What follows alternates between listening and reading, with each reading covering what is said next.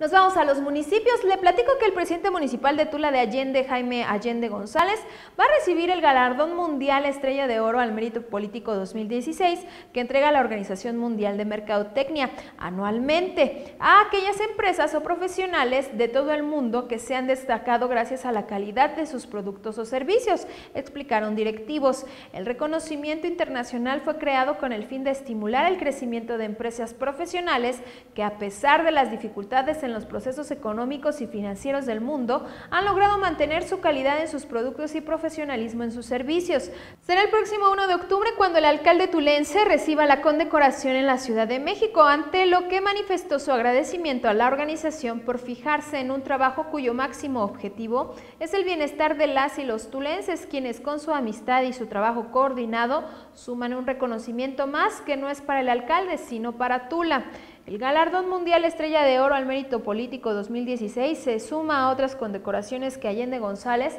recibió durante el actual periodo de gobierno y que son emitidas y respaldadas por las siguientes dependencias como la Secretaría de Gobernación Federal, la CEGOP, la Procuraduría Federal del Consumidor, la Profeco y el Banco Nacional de Obras y Servicios Públicos, Banobras. Además, el Instituto Nacional para el Federalismo y el Desarrollo Municipal, INAFED, la Federación Nacional de Municipios de México, AC, la la FENAM, la,